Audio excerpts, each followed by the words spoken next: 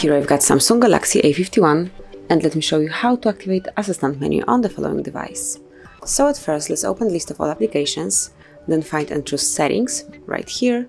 Now scroll a bit down and select accessibility right here. Then you have to open interaction and dexterity right here. And smoothly by tapping on this switcher, you can activate assistant menu in which you will have easy to reach buttons that let you replace hard keys, gestures and other common interactions. Smoothly click here and as you can see the icon appeared here so from now on whenever you are, wherever you are and whichever place in the phone you can smoothly click here and for example open recents, home, go back, you can switch off the screen, you can change the volume or grab a screen.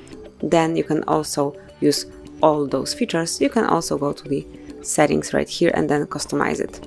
Here you can click on assistant menu options and now you can pick whichever options you would like to have here. So for example, let me take off this one and go with screen control. Then you can, for example, take off the screenshot from here and now we will remove menu settings here.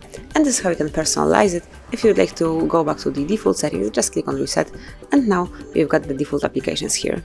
So now let me go back, then you can also choose the transparency.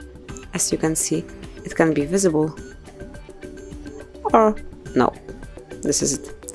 And this is how you can activate this feature. As you can see, you can smoothly click and then use it. So to switch it off, you just have to open the settings one more time, go to the accessibility, then choose interaction and dexterity and switch assistant menu by tapping on the switcher. And this is it. So that would be all. Thank you for watching.